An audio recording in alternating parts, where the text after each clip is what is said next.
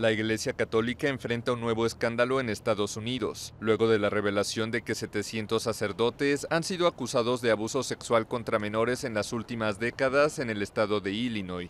Las diócesis de Illinois publicaron los nombres de 185 curas involucrados en señalamientos serios, pero el análisis de los archivos reveló que habían sido notificados de acusaciones contra al menos 500 curas más, informó la fiscal del estado. La oficina de la procuradora criticó el manejo de las denuncias y la falta de cooperación por parte de la iglesia, que enfrentaba críticas de residentes de Chicago. El hecho de que dijeran que fueron 700, estoy segura de que hay más. Creo que hay mucha gente con poder que abusa de gente joven, que no tiene a dónde acudir, no tienen a nadie y se alimentan de esta gente joven y vulnerable. Sin embargo, algunas personas insisten en defender a la Iglesia Católica.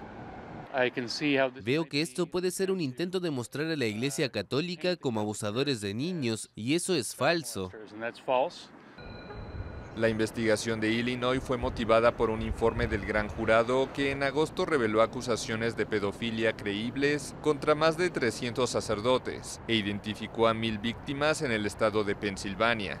La Iglesia Católica ha sido golpeada por una serie de escándalos de abuso infantil en varios países en los últimos años, con generalizadas denuncias de encubrimiento.